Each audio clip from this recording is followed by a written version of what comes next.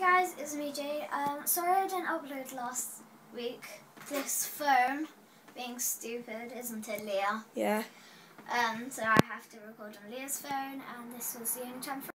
If you wanted to know, um, all I have is really books and stuff like that. So, yeah. Um, well, this is phobias and fears.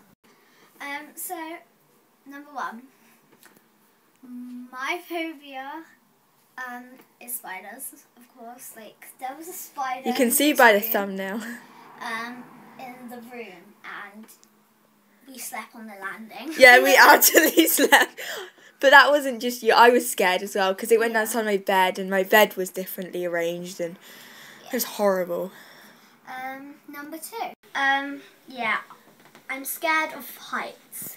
Like, and I mean like, there was this like pole in Scouts. Everyone got to the top, stood at the top, and leaned back and fell off.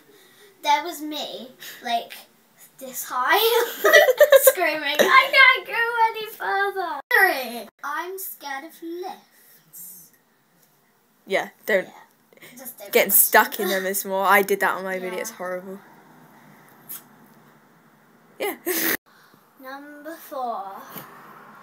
This one is quite stupid. Um, I know they're meant to be for like younger children. I don't have any because I'm scared of them. Uh, the Lalaloopsy dogs. I just find They're it really creepy. creepy. It's just like I slept around my friends and her Lalaloopsy doll was at the end of my bed like that. And it's just like Jesus Christ. Superstar. Thank you for watching. Bye.